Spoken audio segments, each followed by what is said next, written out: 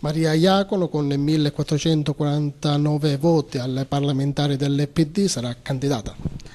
Eh sì, sarò candidata, è, è stato un ottimo risultato, eh, pensavamo diciamo così, di raggiungerlo, ci siamo riusciti e penso che questo diciamo, è anche un pezzo di conquista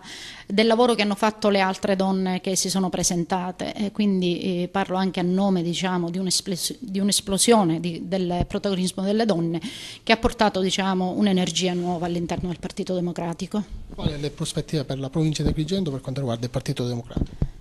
Eh, io penso che siano ottime eh, le prospettive perché eh, queste primarie ci hanno dimostrato che eh, andare nella direzione di un rinnovamento della politica, se si pongono le basi di questo rinnovamento, è possibile. E ripeto, è possibile farlo a partire dalle energie che sono tante in questo nostro territorio, che sono le energie umane di, questo, di cui questo partito dispone e che possibilmente diciamo, non hanno ancora del tutto costituito la classe dirigente nuova che proprio il PD in questa provincia può rappresentare.